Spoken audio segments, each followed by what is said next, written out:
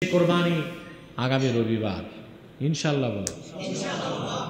যারা পশু কিনেন নাই, কিনবেন। তবে ছোটোখাটো পশু কোরবানি দিল হান্ড্রেড পার্সেন্ট হালাল টাকা গনে তারপর হাট বাজারে যাবেন। আমাদের দেশে দেখা যায়, হাতির মতো বড় বড় গরু দেয়। বুঝলেন? ভালো কথা।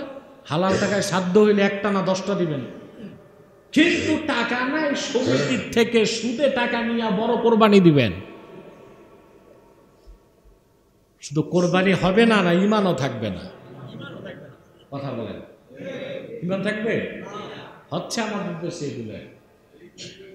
তারপর হয় কম্পিটিশন মানুষের নিয়তটা কত খারাপ।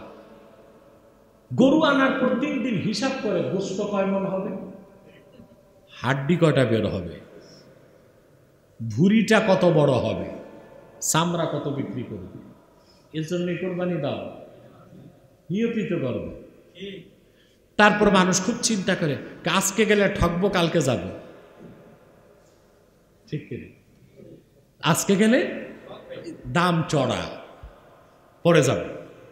মিয়া, এতটুকু একিন নাই যে আপনার কিসমতে যে পশুটা আল্লাহ রাখছেন ওটি আপনার কিনতে হবে। ঠিক কিনা কম আর বেশি কি? পুরো আমলটাই তো কোরবানি। ঠিক না অতএব নিয়তটা ঠিক করুন। নিয়ত ঠিক না করলে কোরবানির গোস্তুই খেতে পারবেন, কোরবানি কবুল আল্লাহ তালা বলেছেন ইয়ানালুহু তাকওয়া মিনকুম। আল্লাহর কাছে কোরবানির পশুর গোস্ত, রক্ত কিছুই পৌঁছে না, শুধু পৌঁছে তোমাদের পক্ষ থেকে তাকওয়া। নিয়ত। এই নিয়তটা ঠিক রাখব তো ইনশাল্লাহ আল্লাহ কবুল করুক আল্লাহ মঞ্জুর করুক।